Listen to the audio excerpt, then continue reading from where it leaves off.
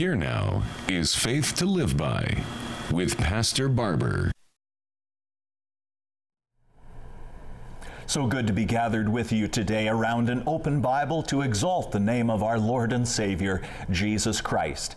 In this world, there are many things that we do not understand, and there are trials and testings. There are circumstances which we would not wish upon ourselves nor anyone else. Here is the full group to sing, But in heaven we'll understand it better by and by.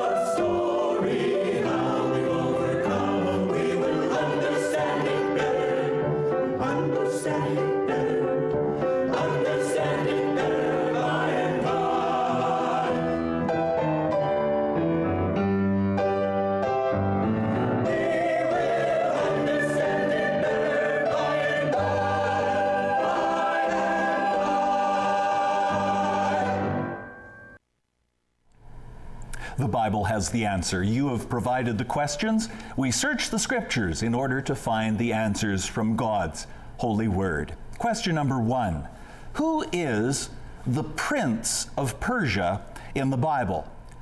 I direct you to Daniel chapter 10. This is the only place where this reference is made and verses 13 as well as 20 and 21, the very end of the chapter. And we must consider that this is a mighty demonic power. In this same chapter, as, as, numerous other places, both in Daniel and, and elsewhere in the scriptures, we have it declared, such as in verse 1 In the third year of Cyrus, king of Persia. A message was revealed to Daniel. So there is a specific human individual, a specific human authority by the name of King Cyrus of Persia. But this is a different one. This is the prince of Persia. And we must consider that this is a power, that this is a demonic power, unseen, but yet his authority. Instead of using the word uh, prince of Persia, you might say a spiritual authority or demonic authority of Persia, because this is one who, Daniel is told, was restraining help from coming. Michael, one of the chief angels, being restrained from coming, having done battle with this prince of Persia, and Michael coming to the aid of Daniel, but then very quickly returning to do battle. Just as there are archangels in heaven, those fallen angels, they also have a hierarchy, or one person has said a lower archy, and they are in varying degrees of power. And here we have one that was very mighty indeed.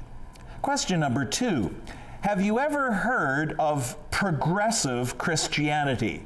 I must answer that I have never heard that term uh, to the best of my recollection, but if I correctly understand what is meant by it, I would wish to have absolutely nothing to do with it whatsoever.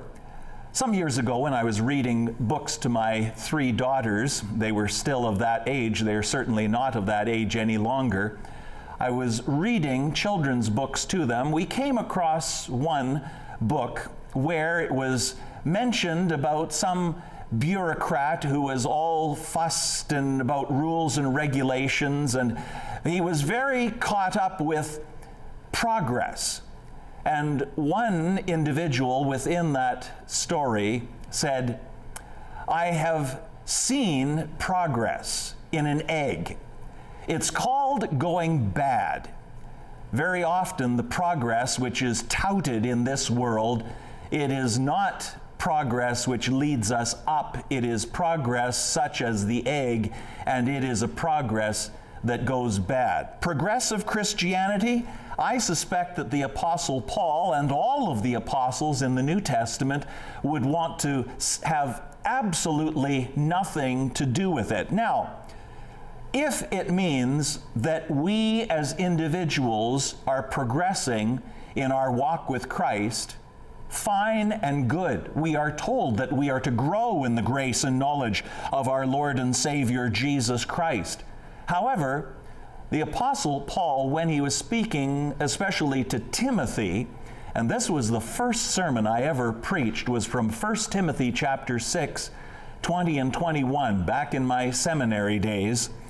Paul says at the end of his epistle, Oh, Timothy, guard what has been entrusted to you avoiding worldly and empty chatter and the opposing arguments of what is falsely called knowledge, which some have professed and thus gone astray from the faith. Then, all the way through 1 Timothy and 2 Timothy, but I hold out to you 2 Timothy chapter 2 and verse 16, Paul again says, Avoid worldly and empty chatter, for it will lead to further ungodliness. And 23 of that same chapter, refuse foolish and ignorant speculations knowing that they produce quarrels, and I leave you with verse, chapter 4, verses 1 to 4.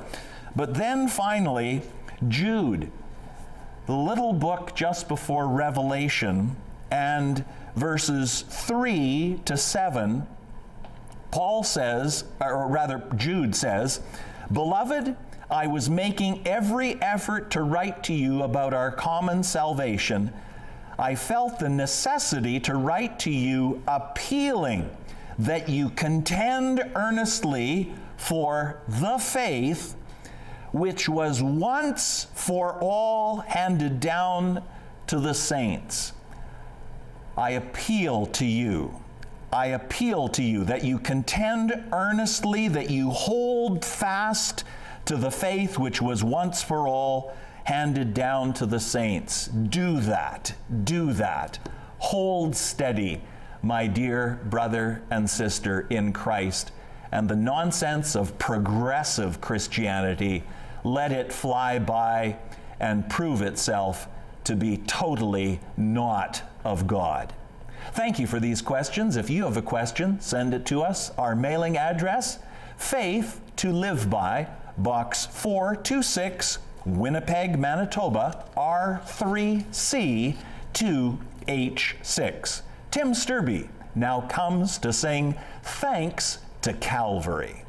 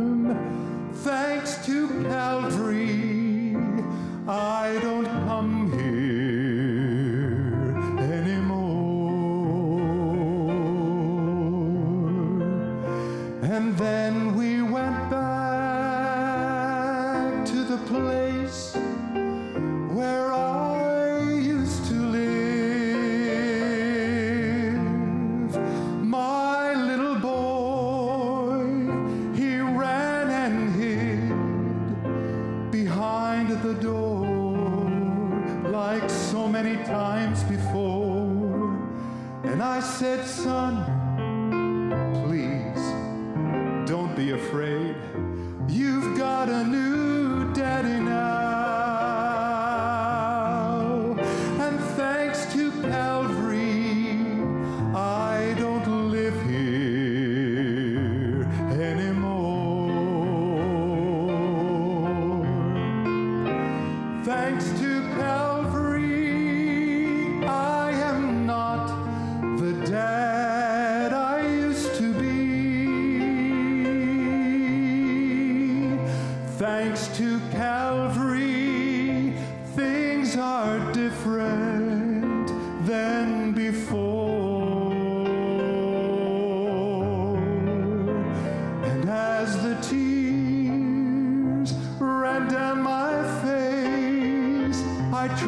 To tell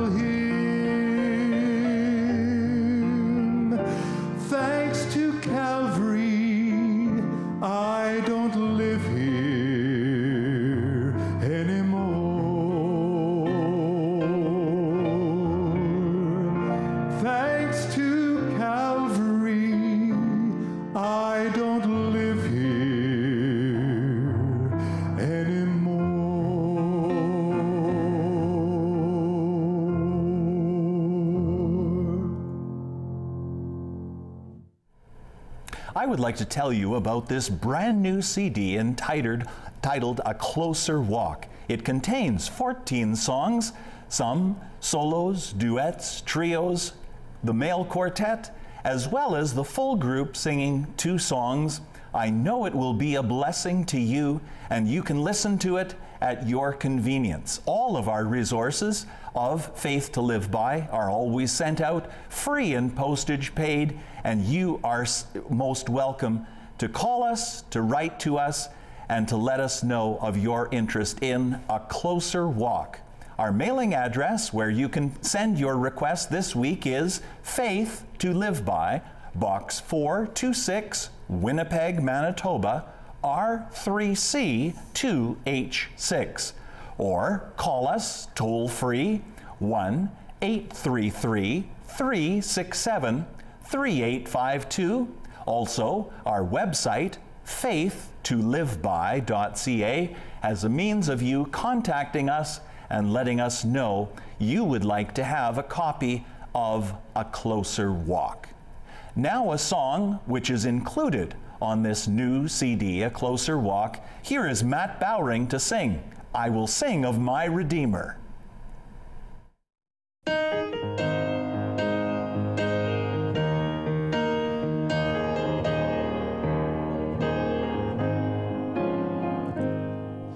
I will sing of my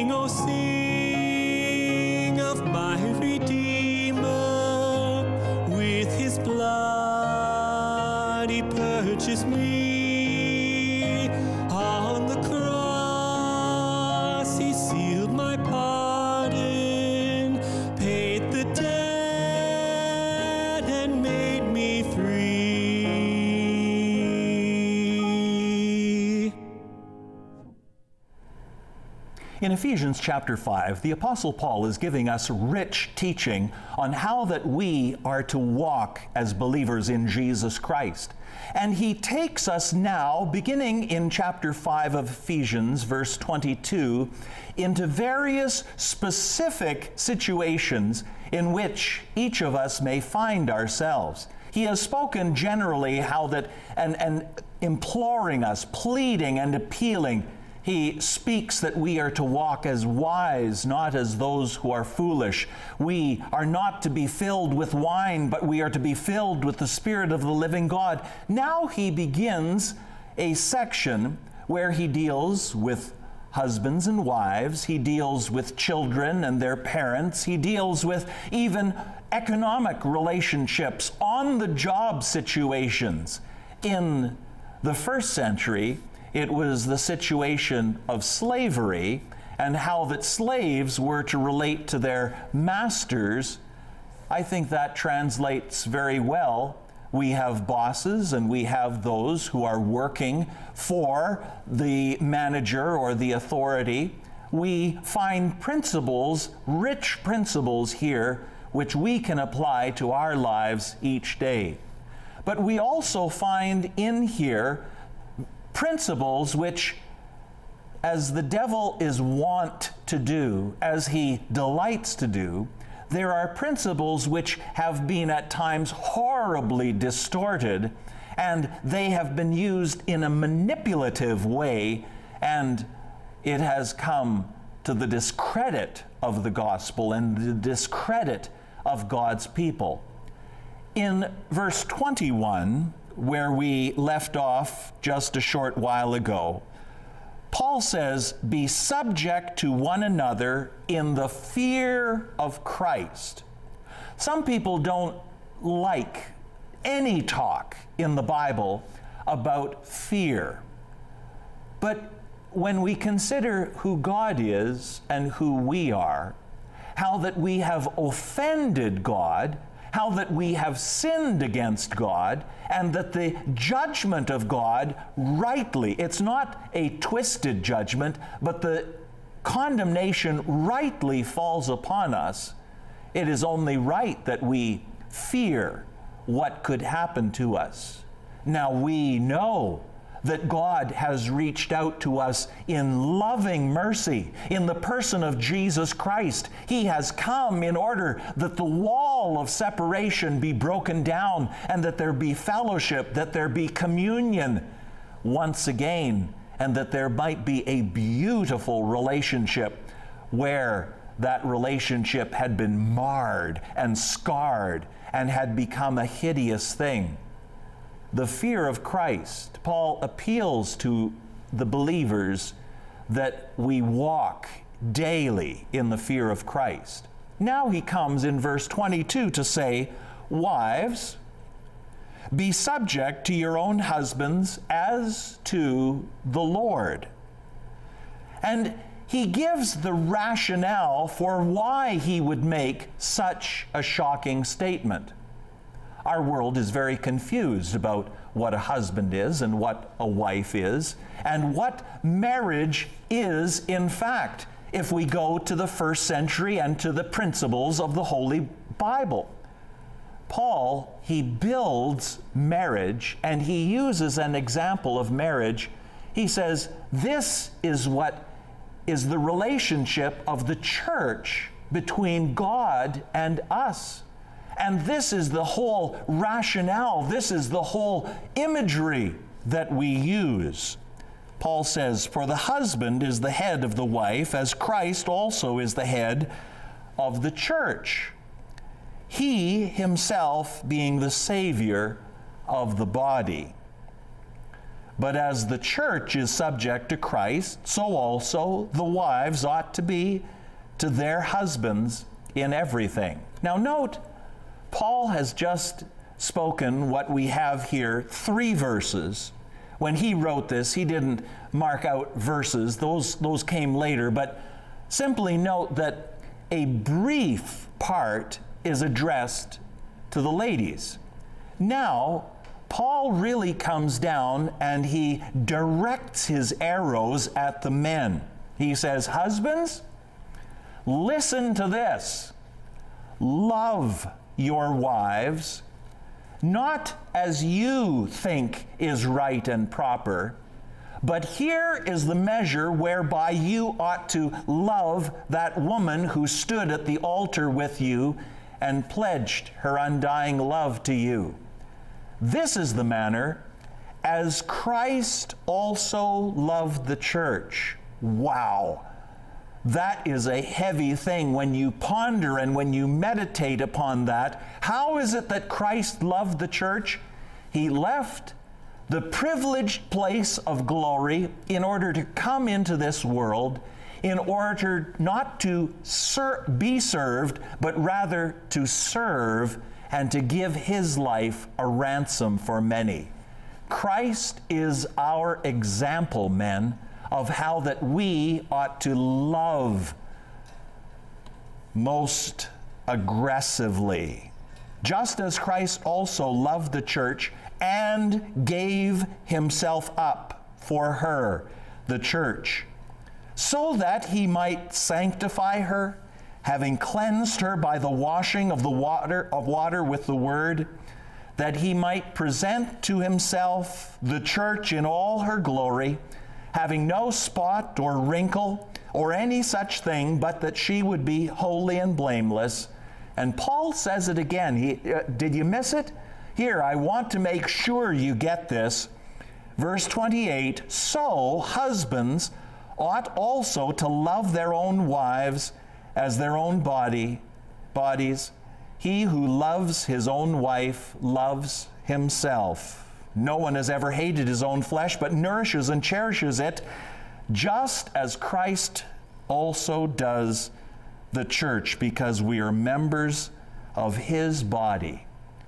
Paul, he's talking to the ladies and he's talking to the men, but he's most especially talking to all of us of how that Christ so loved the church that he gave himself, and in such a way ought every believer, whether they be male or female, that every one of us love one another for whom Christ died, that we give of ourselves and that we expend of ourselves for the good of the other. And Paul says, For this reason a man shall leave his father and mother and shall be joined to his wife, and the two shall become one flesh. And he says, The mystery is great, but I am speaking with reference to Christ and the church. Paul is not primarily speaking of matrimony in this world. He's first and foremost speaking of the glory of what Christ has done in his body, the church. And he says, Nevertheless, each individual among you also is to love his own wife, even as himself. There it is, the third time. And the wife must see that she respects her husband. Oh, dear friend, what a privilege to be a part of the body of Christ and to walk with Him and to know that we are heaven bound and that we are a part of what He is investing and doing in this world.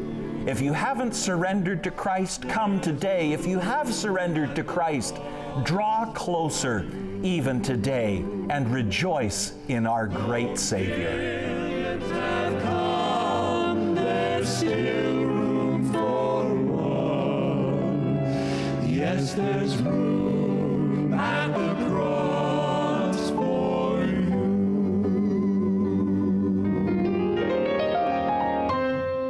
Thank you for joining Pastor Barber today. Please watch for Faith to Live By again next Sunday at this same time on this same station. Until then, Faith to Live By prays that the peace of God will fill your heart and that the joy of the Lord will be your strength. Pastor Barber would love to hear from you. The mailing address is Faith to Live By, Box 426, Winnipeg, Manitoba, R3C 2H6.